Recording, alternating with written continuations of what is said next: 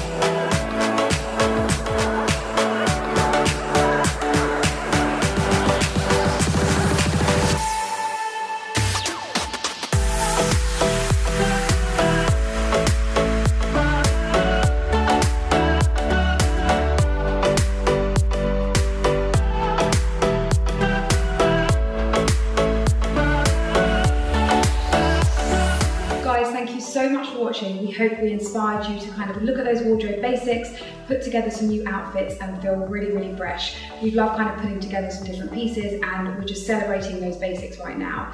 If you haven't subscribed to our channel, please do subscribe and keep up to date with all our videos and we will see you next week at 7.30am. Bye!